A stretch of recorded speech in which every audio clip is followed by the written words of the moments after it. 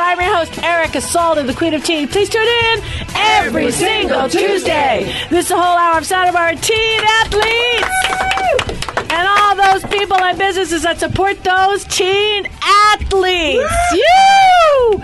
Okay, so Alexandria has it set all in like you're a bear now. You're all like, whoa. I have my roommate. Oh, really? Yeah. Wow, that was fast. I know. Facebook Seriously? really comes in handy. Wow. Do you know them? Um, no, I met them online. wow, it's like a dating I service. know, it is. Wow. Yeah. How, so how'd you pick them?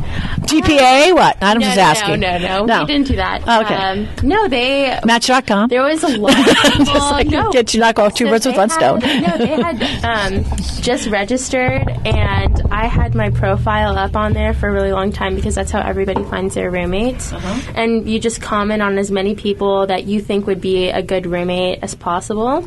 And that wasn't up, astrologically done. no, I I was just saying. know. well, I did ask about that too, but I don't know if that would have been great. Um, no, and they, uh, we just did FaceTime and we did different things like that and just all talked. And we're all from Southern California. And um, one's from Manhattan Beach, the other one's from La Jolla. And So, what quality do they all have? I think we all just have um, we're we're all kind of bubbly, I guess, but we all have really like we all cover different areas. So one's an econ major, I'm a psych, maybe double in business or something, and then another one's like a um, uh, bio Bi- cell wait molecular cell biology i think Wow. okay major i'm sorry i'm spacing out right now but anyway um, so yeah so we've just been talking a lot and trying to get to know each other more but it's just a vibe that you get i think just from over the phone and Do you all do yoga or no it wasn't anything like that we um, do you have similar politics? Um, yeah, I mean, I think a lot of people at Berkeley do, so I'm not going. But we're all very like neutral too, I think, and um, they all play have played sports, and Nice. Um, I don't know, we just we just mush together well. So Have you I lived together yet? No, no. We start. We move in August fourteenth. That's the first day of, of school. Like that's not when classes start. I think that that's orientation week. And uh, yeah, there's a lot of people from my school that are going to Berkeley, and we're all trying to get the same housing unit. Not for any reason, but um, just because it's the nicest one, but not because we're trying to be together. So I think it'll be fun, though. I'm really excited. Sounds and- great. Is this I'm so excited for you.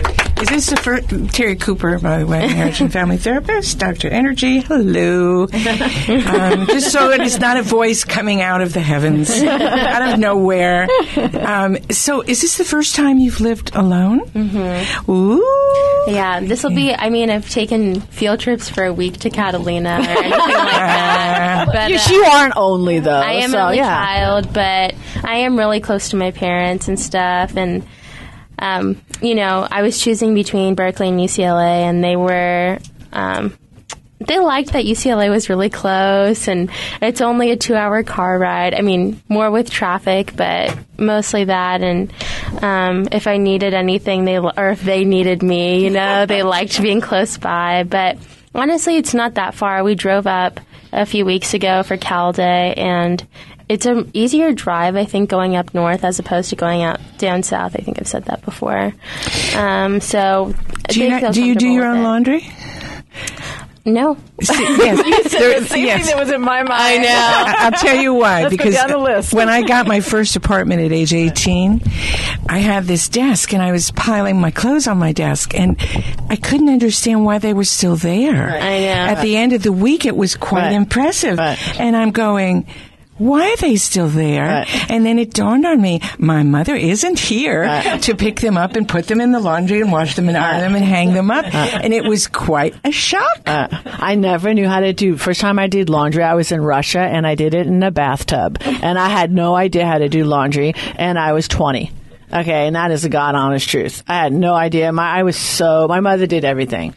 I mean, she I did. She did totally. She did everything. I feel the same way. So I, I mean, I started. We went to we went on a trip a few weeks ago, and we had to do our laundry in the hotel. And my mom's like, okay, I'm going to give it to you so you can practice. And I mean, yeah. So I have a friend, one of my best friends went to boarding school um, two years ago, and I've just been talking to her a lot about how that transition was for her and stuff. And she said it's, you know, once you get used to it, you kind of get used to it. So, YouTube. yeah, that, that too. YouTube has a lot of different things. So if I ever, also, I mean, I think I'm my parents. would be honestly, because they have this service, I have it for John. Okay. They have stuff that they they'll pick up your stuff, okay, and they drop it off. I have it for John. It's not, I- it doesn't wipe you I'll out. look it up. Really. No, I'll They look do. it up. They have uh, I'm just, I, I think at a school of 30,000 it. students. You know I why? know because gonna- John started I getting don't know his if they'll offer as much. you know, ripped off.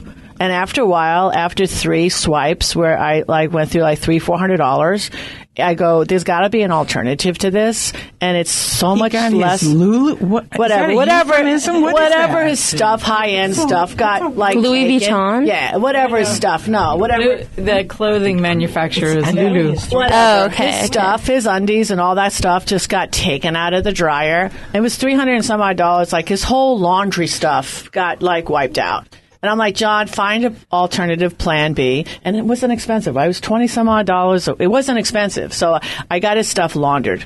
They picked it up and they dropped it off. And honestly, it was safe because he's not Yeah, in her the mother's best. going to love hearing that. Well, it is because you know you get your stuff taken, and this is I'm sorry, it's reality. No, it is. you get one load taken of your best stuff, like what you have on, you're gonna cry. Okay, It- all the stuff you were gonna wear for the week. When, I'm just saying. I'm sorry, Berkeley, whatever. Johnny, John John goes to holy names. Okay, I mean, doesn't No. holy or saint. It's not holy whatever. underwear, I'm that's for saying, sure. like all of his stuff was gone, like all of his clothes. So what are you gonna do? I'm just saying it happens. So wake all right, up. all right, we you got know? the underwear. Yeah, okay. Either that or just realize you need to monitor it. You can't leave. No, don't leave. So when you're when you book. when you're doing your wash, you're doing your homework there. right, don't leave. Yeah, I um, I think it'll be good just because there's a, quite a few of us and people that I know too. I think that we'll be able to go in little groups and do There stuff together. So um, I'm anticipating a lot of group. You know, really Right. basic activities done together as groups, and people being really confused and Yeah. stuff. So, Living with But, uh, one person is challenging and um, and it has lots of good potential. Living with how many did you say? where I have two other roommates. Two. Okay, so there'll be three of you. Yeah. Okay. And so you you know you'll work things out. You Yeah. come from different parts of the country. You come from different cultural backgrounds Mm-hmm. and and styles of doing things, different parenting styles that have brought you up.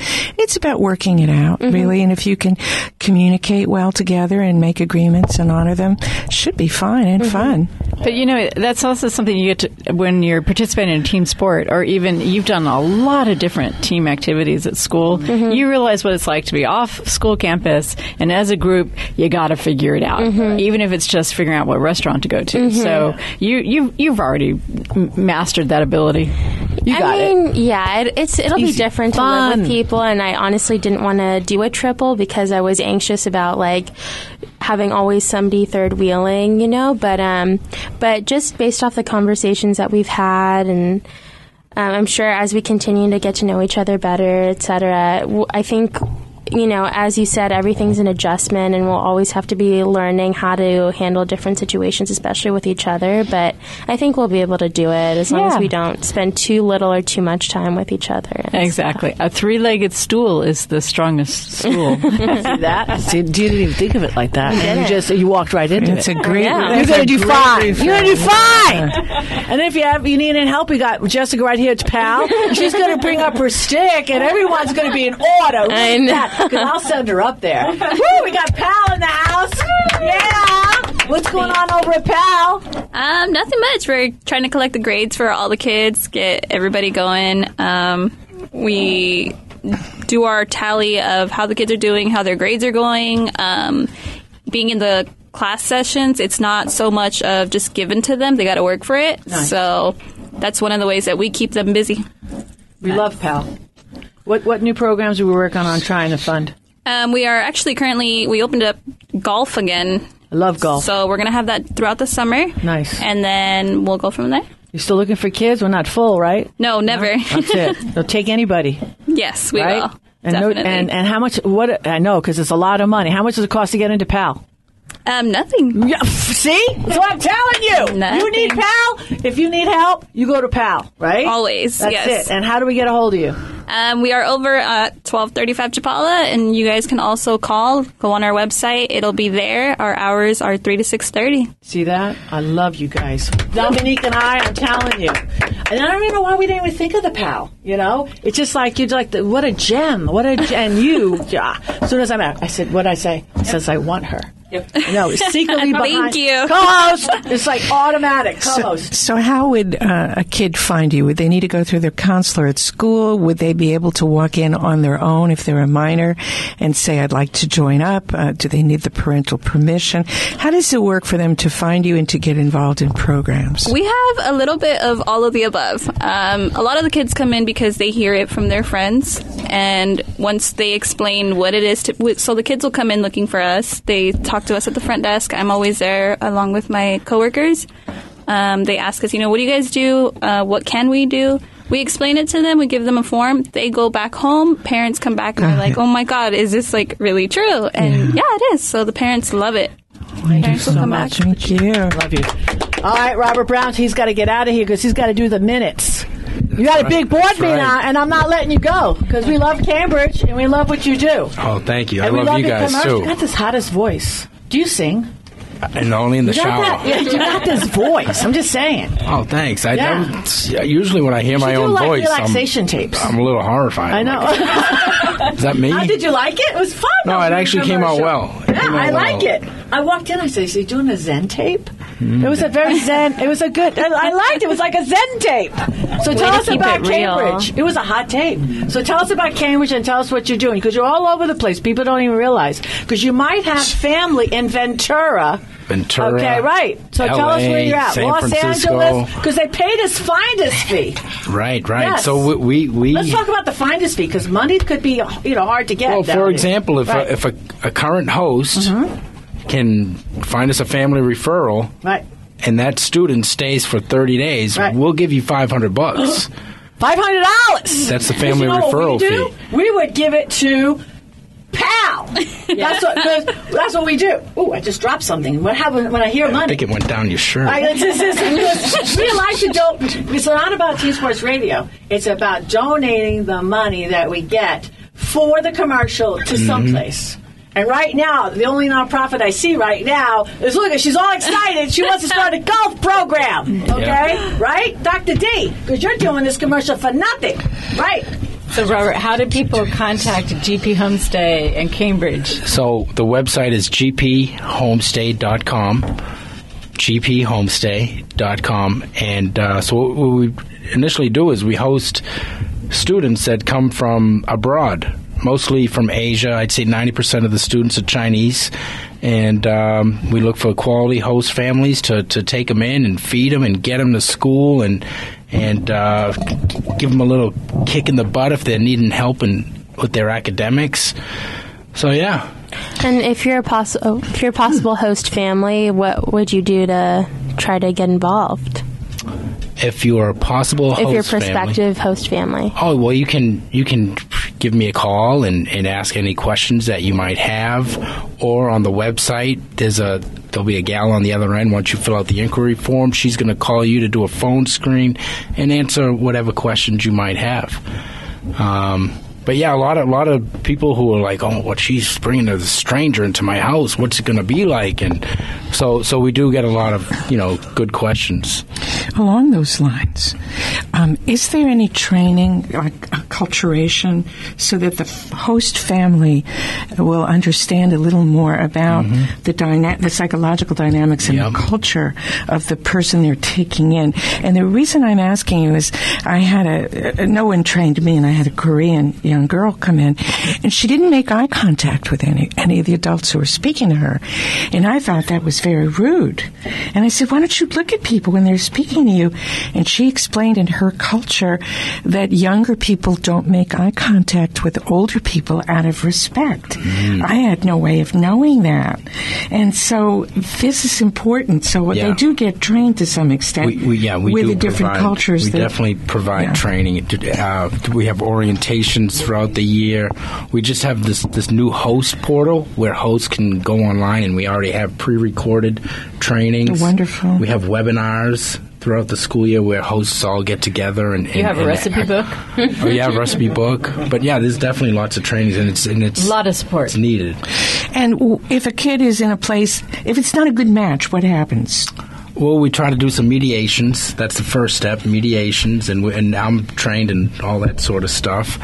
And after maybe the second or third mediation, we might have to uh, just find a new host. Find a new host or Yeah. a new home. Because I've heard some horror stories, you know, both from both ends. Not from your organization, but just from being a lot of people here in Santa Barbara do take kids in who go to school here, Mm-hmm. go to the uh, college, and some of them talk about great kids, and some of them talk about horrible hosts, and you know, so uh, it's it's, a, it's a, it is an exciting potential adventure. It's an adventure, and it's extremely rewarding. I can tell you that personally, but it does take some coordination of who Right. fits with whom and what they want. You know, Right.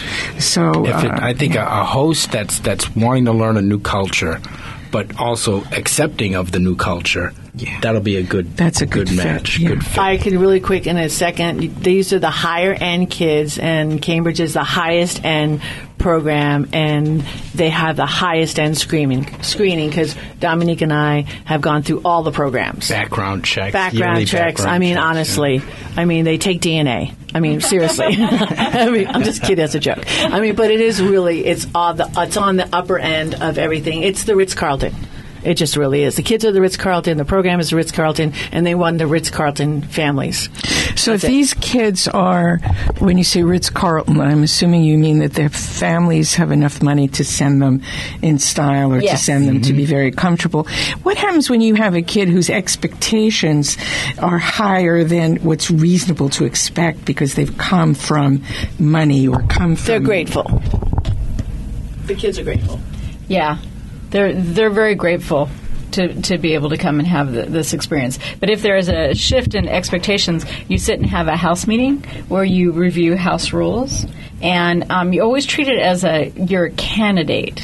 So we're, we're as a host parent, I'm a candidate as a host parent, and the student is a candidate to be in my house. So it's an at will contract. We both have to agree. Yeah, communication is huge. Yeah, that's it. Okay, we're gonna sh- let's take a break. Okay, very good. We love you. Thank you. You, I love your commercial. I'm not kidding. Do some Zen tapes. I'm all day, and uh, we're gonna listen to your commercial right now. How's that? All right, Uh, it's great. Erica Salda. Take a little break. We'll be back with more after these messages.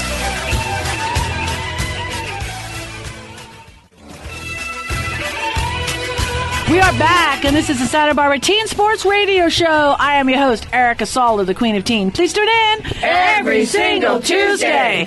Well, Terri Cooper. Yeah. Doctor Energy. Why, why are you saying Dr. Energy like we're in a Zen meditation? I'm just because you know Robert Brown left, and I just you know I. So I'm going to ask you this on the air. You said he was hot, and he should make hot. a Zen tape. I just he's So- a nice guy. He's so my brother in a past Wait life. a minute. Let me finish. Oh my God! I'm not going to tell you the funniest story now. So Zen is usually pretty cool Yes. and mellow, mm. and hot is pretty hot. so is he both hot and cool? Yeah, but I look at the new new wave hot is just he's just like a cool hot guy. That sounded a lot Yeah. like what I just said.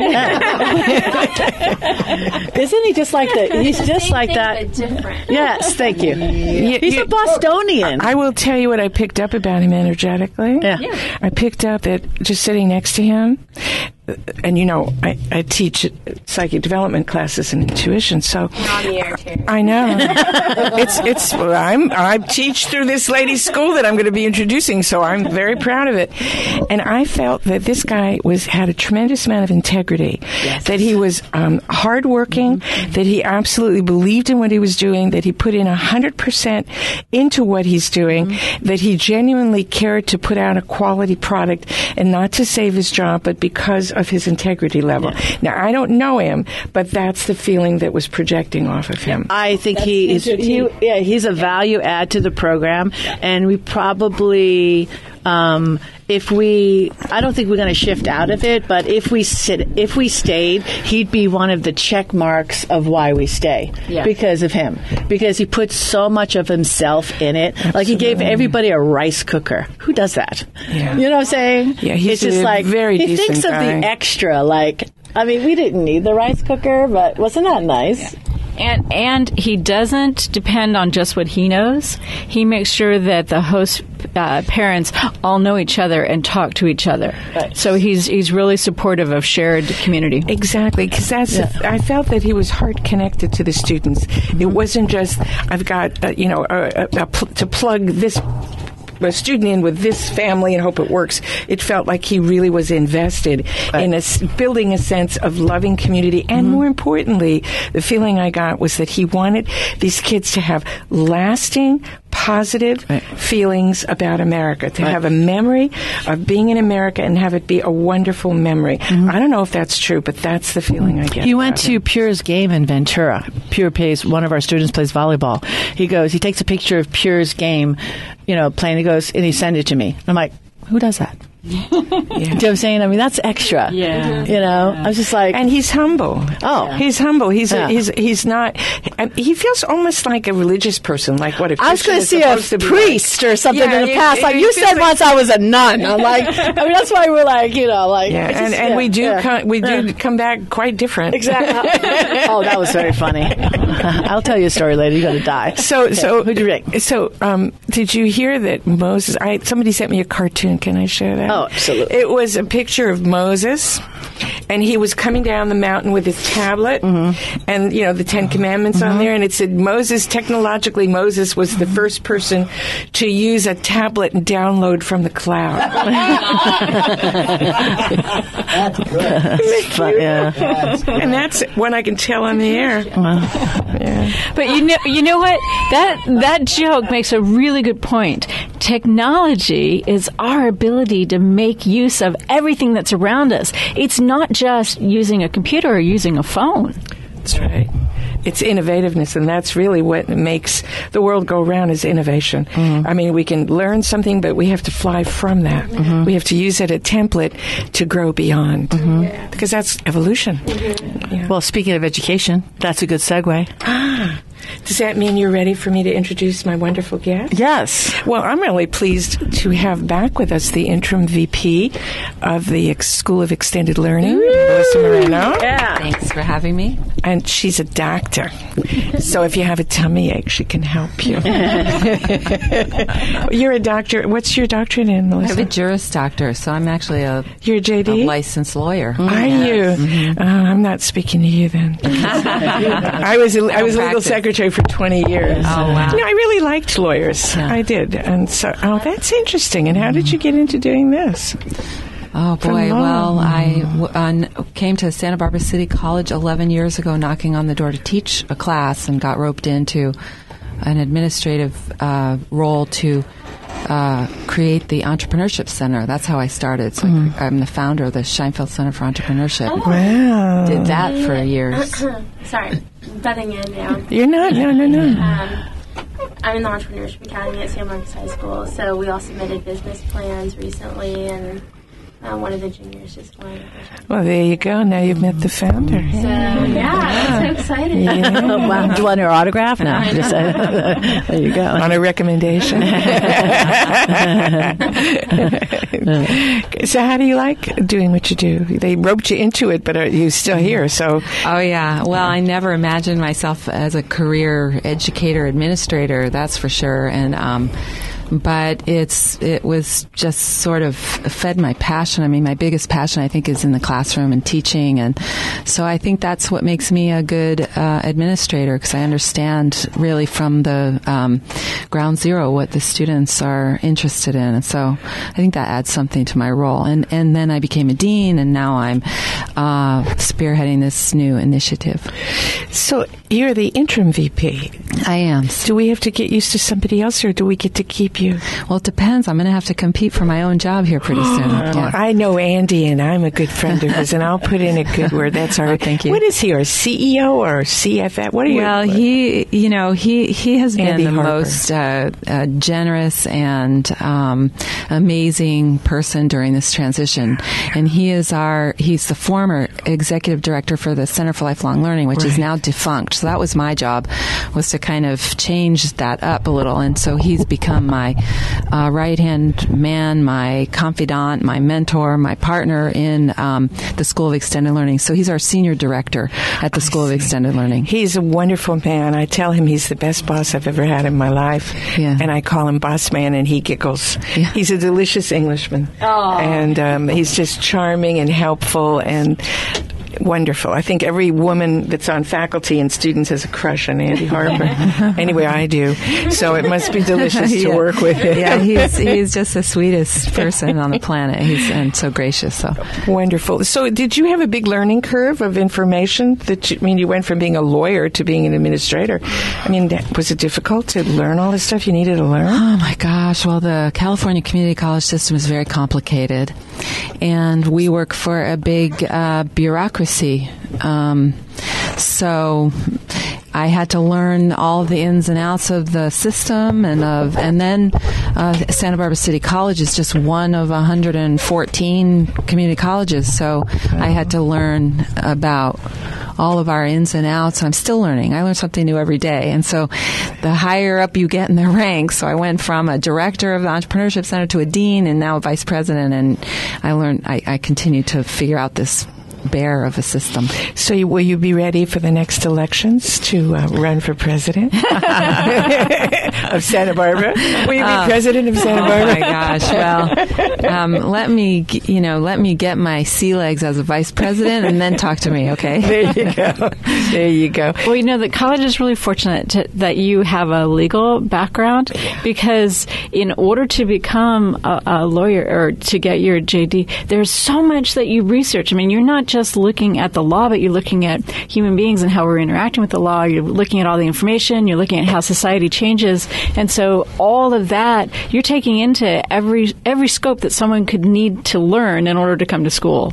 So That's true. And I have um, an ability to be able to, I think, explain all of the complexities of the bureaucracy that we live in and work in. And apply it in a simple lay person's way, and, um, And we help- need that because yeah. Mm-hmm. a lot of folks, and when we get into the next segment, I'm going to ask you to elaborate a bit on what the School of Extended Learning actually is, and particularly with its emphasis uh, for the purposes of our uh, show, how it, it can work for teenagers. And so um, that, and also I wanted to ask you about um, the difference between the tuition fee and tuition free, because that confuses some folks. So Great. in the next segment, we're looking to do that. Gee, good. We'll do that. Let's take a little break. Yeah. All right. Let's do that. Erica Salda, the Queen Teen. We'll be back with more after these messages.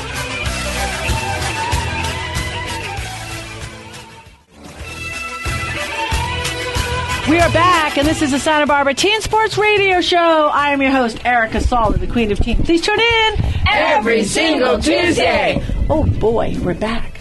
We are. Okay, what's we going to talk about now? Well, we're going to ask some questions of our wonderful right. Dr. Moreno. We're so blessed. It's Chili Moreno. Oh, I'm sure she's gone there before. Has anybody ever said that No. to you? I, I think I just have a taste for Mexican food. I'm sorry. so we, st- I started off teaching at Adult Ed, and then it became the Center for Lifelong Learning, and now it's the School of Extended Learning. So can you help folks understand, you know, what is the School of Extended Learning, and how is it different? How is it the same? Is it still Adult Ed? Just talk to us a little bit about that so folks can understand. Yeah, sure. So, our uh, new president, Dr. Anthony Beebe came from San Diego, and he was uh, really well versed in adult ed. And when he stepped foot on our campus, I think he saw a real gap and something that was missing because we had transitioned away from so many free uh, programs and built, and, as a consequence, built a wonderful and huge uh, fee-based program called the Center for Lifelong Learning. So when he he came onto the scene, and the board of trustees were all in agreement that we should really be bringing back adult ed programming. And so my job was to co- sort of flip it on its head and reduce the fee based programs because they're expensive. It's wonderful, wonderful programming. It's pretty expensive. So we wanted to bring back a free programs where we could. And so my job really was to kind of bring back the free adult education programs and then reduce our tuition, uh, our, our fee based programs. But as a result, we have a very robust program. We're continuing to offer the ones that we can't have be free and, and charge fees. And, um, so we're, we're bringing it all back. And so Feb, uh, fall of 2018, this coming semester, you'll see the, the full gamut of the transition that we've made.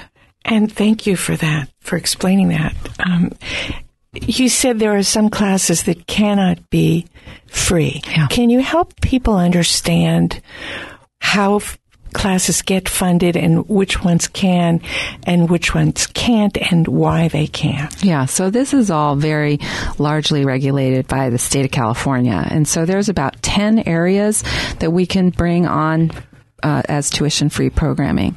And there's some critical areas that we can't fitness is one of them. So fitness will always be a, a fee attached to it. And so all of our um, yoga classes and dance classes will continue to be uh, a charge. Uh, but what we're bringing, what we can bring free is um, the English courses, all the creative courses, the art courses, the psychology courses. So many of the courses that you might teach will come to be tuition free. And then the ones that are um, you know, we've decided to group some courses together in the fee based program to make it interesting. So, for example, cooking, culture, and travel will be a fee based program, and we're going to be bringing back uh, travel abroad programs. Oh, that's yeah, wonderful. So we're we're excited to have uh, continue to support the fee based program, but really bringing back hundreds of courses, like 1,200 courses that are going to be free. It's amazing. In the fall. Really? Oh, yeah. Mm-hmm. Well, now I didn't know that, and I teach there. that's really exciting. Yeah, it's like really Thank exciting. you. Sure. Wow, that's wonderful. I think the other ones that are not covered by the state are things like the arts and crafts classes, right? I mean, th- We're bringing all the arts and crafts um, to be free. There's there's going to be a you heard it of- first on Teen Sports Radio, Yeah, kids. Yeah, ceramics. In fact, if, Wow. i there are opportunities for teens to come with their parents and take the classes, so we can enroll minors in the program, and it's kind of a fun thing to do, especially this summer. We've got classes that are starting on May 21st, and you might want to do a fun class with your mom or dad before you go away to college. It's really fun. great I- If you've never done a class with a parent, I, I highly, highly recommend it. Well, all I wanted to say too about this is um, I know that when I was taking my Spanish classes, I always had students also in the classes that were um, older and you know they had they had already had lively careers and were now more interested in changing gears or maybe just developing their language um, language uh, de- Eloquence. eloquence exactly sorry i cannot think of the word but um but anyway it just is a really great opportunity to develop so many skills that you feel you might need to improve on um and you know, it used to be called the Center for Lifelong Learning, where we are creatures that are always ingesting new information. And um, the only way we'll really grow is if we're always learning something new. And one of the best ways to do that is to do it in a formal, uh, at least for me, in a formal class structure where you have kind of the accountability of making sure that you're learning everything. But you know, it's low stakes and it's a really great way to make sure that you're becoming qualified in this information. I just like the whole thing about community. You know, you're off the TV, you're not on a, a piece, a device, and you're in, you're in a room with people. I love it. I mm-hmm. just, I applaud you. Thank you so Oh, much. thank you. Brilliant. Yeah, thank you. Take a little break. It's Erica Salda, the Queen of Team. Fill up your coffee. We'll be back with more after these messages.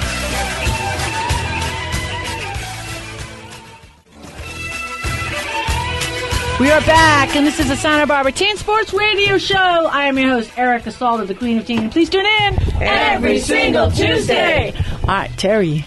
Yeah, so Dr. Miranda, we'd love to have you come back because we have lots more questions for you.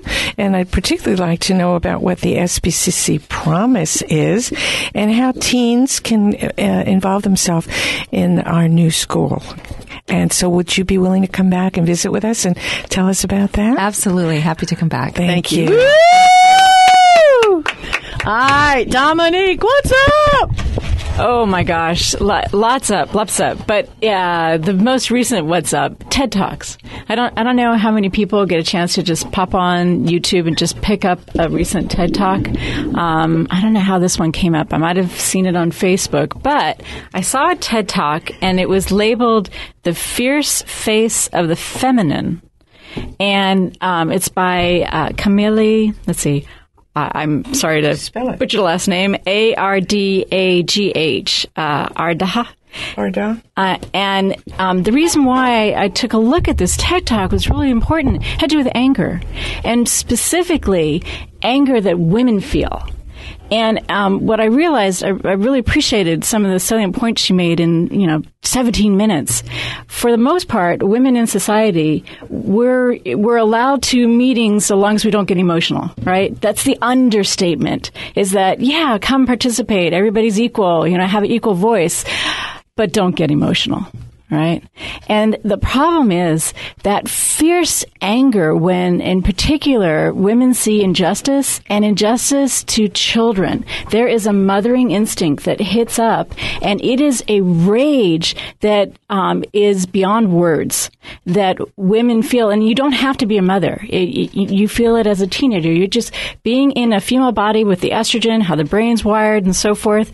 Something just just hits that rage button. And so what this woman was speaking to is in the fierce face of the of the feminine is that how do you relate to that anger that you feel inside? And how do you make uh, peace with it and have space with it and have it be a part of our society? Because right now most of the time when people think of angry shadow emotions there's either numbing out or out of control and both of those options are not options. When you suppress your anger, you're not just suppressing your anger, you're suppressing all of your emotions. You're suppressing your ability to experience intimacy. You're expressing your ability to value you, you being vulnerable. And so you can't connect to your family and your friends and society if you are numbing out to your anger.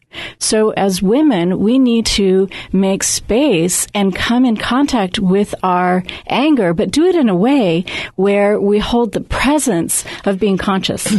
and so what this woman did was she told a story and she told a story about Kali, and Shiva. And in most stories of mythology, when they talk about rage, it's a woman. So she was telling me this. Um, uh, Kali who? I had no idea. I'm sorry. So I'm from. Um, sorry. Okay. Terri's looking at me like, oh, shut up. Okay. so in Hindu mythology, um, Kali is the archetypal uh, feminine, the archetypal female that comes in at a time of a fierce battle between the gods and the demons. So the gods sort of like hold space for that part in humanity that is compassion, is loving, learning, all the high arts of society and, and civilization. And the demons are the hatred and the ripping things apart and the separativeness. And um, what she brings together in this TED talk was beautiful, where Kali comes in, wins the battle for the gods against, you know, the demons. But Kali is so full of rage, she keeps destroying even after the battle is won. So how do you pull that rage back in? And so the quality of Shiva is that presence. It's that presence before thought. It's that ability to choose. And so Shiva helps bring Kali back in a line, and she doesn't end up destroying the world. So that's really great. But um, I just wanted to speak to the fact, especially if you're watching the news and you're seeing things go on in school, there is anger and rage inside of us all, m- men and women. And how do we hold space for that? Well, you breathe into it, into it, you be present with it, and you welcome it as a part of how we're going to bring medicine to our current situation. We need that energy to solve our current problems. I love that you're touching on that. I think it's also so important to look at how you're manifesting all of your energy and how it's introducing itself into your life, um, where it's where it's being pocketed and invested, and um, yeah, with anger especially, I think it's really important to never suppress anything that you're feel like your, any of your emotional feelings. Um, and where you're at, but instead look at how you're channeling that energy. Like Erica is obviously so talented at art and we've, you know, she's been creating amazing pieces and she had never even thought to do that channel before, but really, you know, this goes back to the learning too. Just trying different things and looking at what is your best way to manifest your energy is really going, or channel your energy rather, is really going to be what benefits society in the end. It's that balance between um, the stuff that gets fired in the amygdala, which does not lend itself to logic, and then shifting as best you can into the prefrontal cortex where your higher learning is, where your ability to articulate is. So it's it's learning techniques for negotiating between that um, fight, flight, or uh, mm. response or freeze response, and being able to articulate it in a way that people can hear it.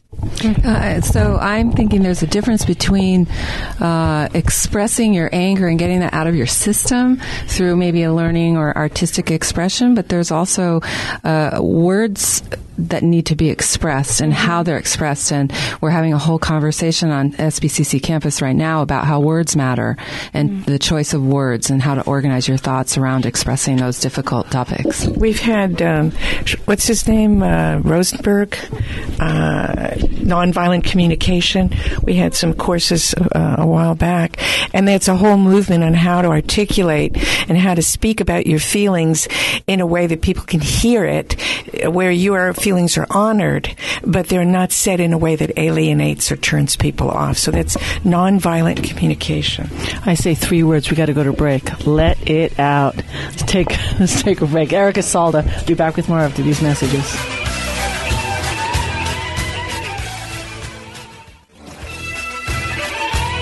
We are back, and this is the Santa Barbara Teen Sports Radio Show. I am your host, Erica Salda. Please tune in every single Tuesday. You said something really deep, um, Alexandria. I don't know if you just can right like, now? yeah, like at Oh. break. You know, I like what you said. Do you remember what you said? No. Okay, good. What I was just saying yeah, right now. Yeah, I like what you said. Yeah. Do you want me to repeat Yeah, it? was good. Oh, okay. I was saying that I think I was interpreting what um, Dominique was saying a little bit differently earlier, but everybody is born a different, you know, for a different purpose, in my opinion, like to serve a different niche uh, or purpose. I can't talk. Um, they all find everyone finds their different niches. We all have different passions, etc. Different And pa- forms of expression. uh, different forms of expression. Part of that is that we all um, tonally have different energies, etc. And um, I think it's important to acknowledge too that if somebody expresses themselves differently than other people, we should have a respect for that. Right. Just They're not even though wrong. they're right, exactly. They have a different perspective because of the way that they grew up or the way that they were simply put born, and. Um, I think that that you know discussion has a lot to do with it. Women might come off as being more emotional or whatever, but we have we have that instant response for a reason, and that's because we have evolved to protect our young, etc., and have that nurturing response. And not that all women express themselves that way, or all men express themselves very like stern or whatever. But Not to im- put people in boxes. Right, exactly. Not to put people in boxes, but um, it's important to give some opportunity for people to express themselves at the way they feel fit. And communication. Mm-hmm. Mm-hmm. You've got to be able to communicate however different you are. You've got to find a common way to understand one another because most of the disagreements are not because somebody's good and somebody's bad or somebody's right and somebody's wrong. It's simply we have not communicated with mm-hmm. each other because the human experience is common to all. We want peace, we want love, we want safety, we want acceptance. I find it interesting as you share that, Terri, that I wa- I've watched a number of movies and television programs that start out and you have these two combatants, if you will, in this dynamic. I, and I guess maybe the movie uh, Batman and Superman is the best one because uh, supposedly there was this. Some I, I, I must have come in in the f- after the first five or ten minutes where they showed what the conflict was over, right? And here, Batman and Superman are they're beating the daylights out of one another, right? And in the last fifteen minutes of the movie, they they finally are exhausted from pounding on each other, and they start talking and they start dialoguing about how well you did this because well, well but you did this because and they got to the point where they began to understand how this conflict started both of their previous understandings were wrong because they didn't bother to stop now i understand in the in the media in in movies and television if you have that conversation in the first five minutes of the show, the show's five minutes. Okay, I get You don't that. have a story. You don't have a story. No drama. But that's where we are today. We, we you know, I, I've I've put this out there following 9/11. Has anybody bothered to stop and ask them why they're so upset and angry? We don't want to do that because we, for for whatever reason, maybe it's something in the brain. that you Countries have political agendas. If we could Well, have there's that too, people but- talking to one another without the politics, without the differentiations, we would find that there's great common ground. We all want the same thing. Yeah. And I just wanted to make room for emotion. That it is okay for people to emote, and we're going to find words. At the end of the day, you just got to be kind. How's that? Santa Barbara, have a wonderful week. God bless you. See you next week for love.